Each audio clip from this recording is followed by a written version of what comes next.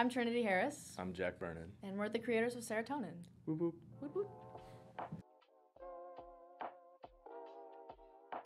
Well, personally, I have been dancing since I was two years old, and um, I joined band in sixth grade, so I've kind of like grown up and always been around music, so I've always had a, a really personal connection to it. Uh, I joined choir and band in middle school and uh, kind of just taught me how to read music. So I took that the next step and just started making my own. Yeah, um, it just it's kind of just brings on good moods. Uh, it's a good way to express also like how you feel.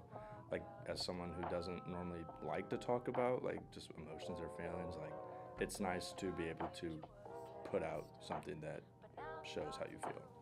Yeah, I'm not really good at expressing my emotions like with just like talking. So like music has always helped me uh, express my emotions through like an art form. So Seventh grade. well, me, yeah, me and Jack were best friends in like seventh grade. We still are best friends, but um, we were like I just came over one day and we were hanging out, and then he showed me around his studio, and then he showed me a beat he made, and I was like. That's pretty cool. You should definitely let me sing on that. And then we created Serotonin. We're still making music.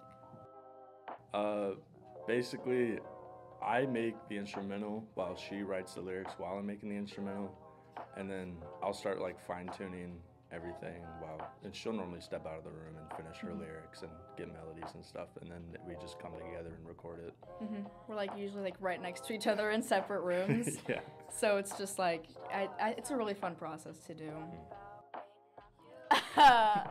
well, uh, you know, I'm just I was just a girl that was heartbroken, so I took those feelings and I put them together. And I remember whenever I was writing the song, it was kind of like I I wasn't that good at making lyrics yet, so I had to have him help, and we kind of just collaborated. Well, me and Jack are coming out with a song called Liar, and it should be coming around, around March. So be expecting that. And then over the summer, we're gonna really grind to try to get an album or an EP done, and we're gonna try to release that in the fall of 2022. Stream Stream serotonin. serotonin. Well, okay. Come here, cow.